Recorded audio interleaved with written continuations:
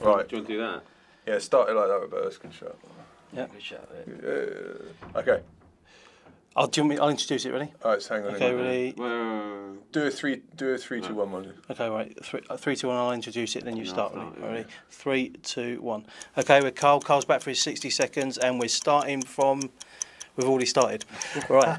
uh, well, we're going to start with uh, Fulham. Obviously, uh, you're on the bench there, uh, as you mentioned. Uh, Kyle came in, played well, and a great win. Yeah, I think you know Nuts has been good in training and everything, and um, you know I've I've played every game this season, so um, it's a well-deserved rest for me, I think, and hopefully I'm fresh for Thursday and firing on all cylinders. It's the reality of a squad game, isn't it? Yeah, I mean that's what you know that's what squad's about, and you know we've got good good depth in squad, and it showed on Saturday. Your mate Sandro scored.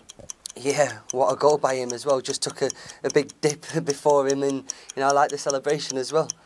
You, I mean, you're good mates with him. I bet he's buzzing this week, isn't? Yeah, I mean, obviously the snow was snow today. Getting into work, he's put some rascal of shoes in, but um, they got hung up. So that that was Sandro's banter today. Brilliant stuff. Right, so looking at Panathinaikos, uh, we need a point, but we're going to go for a win. Yeah, I mean it's Tottenham attacking football and everything, and we're just going to go for that win. Everton.